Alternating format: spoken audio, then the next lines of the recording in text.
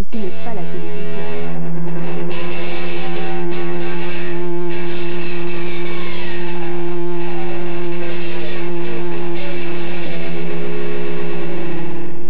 In about 10 minutes time, I'll be talking with the joyful John Rotten of Public Image Limited. In front of that, Frontline Assembly. The Vancouver band assembled back in 87 when Skinny Puppy vocalist Wilhelm Schroeder joined forces with Rhys Fulber and released an album called Corrosion.